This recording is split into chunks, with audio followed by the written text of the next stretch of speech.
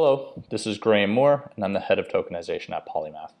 In this video, we'll take a very quick look at the brand new Polymath Token Studio on Aldebaran, which is the first Polymesh testnet. What that means is we're looking at a test version of the Polymath Token Studio on Aldebaran, which is a testnet of the Polymesh blockchain. So all of the tokens created using this test version are for test purposes only, and they have no economic value.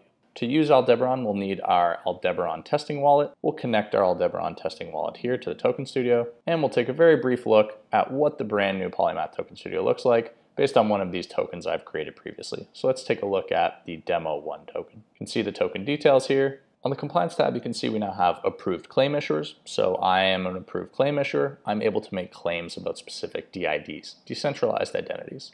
I can also very easily implement rules about this specific token based on these rule templates we have here. So maybe receivers of the token must be KYC'd. Here is where an approved claim issuer can make claims. We see here this identity, they have no expiry on their KYC. Their buy lockup ended on June 24th, and they're an accredited investor. Here we can easily distribute tokens to that one DID who we've made a claim about.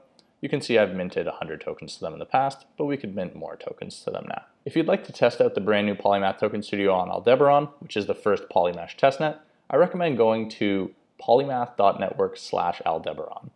That'll take you to our Getting Started guide where you can see how to get the Aldebaran testing wallet extension, how to use the Poly to PolyX upgrade bridge, our identity verification platform, which is how you get your DID, decentralized identity, and of course, how to use the Polymath Token Studio on Polymesh. Thanks for watching. Happy testing.